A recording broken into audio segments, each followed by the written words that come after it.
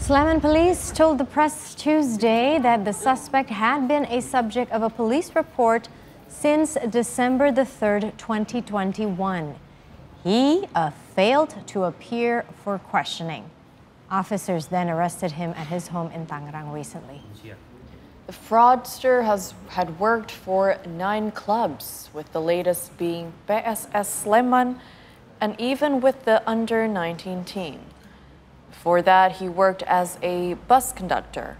He is now facing fraud charges that could land him four years in prison.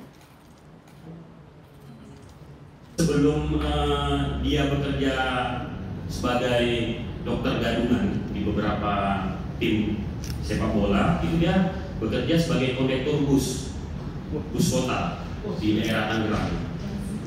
Dia juga sambil uh, ada juga usaha jual kelontong. Ya memang motif si pelaku ini ya ekonomi, ekonomi mencari mungkin pekerjaan dengan pendapatan yang lebih ya dari pekerjaan sebelumnya.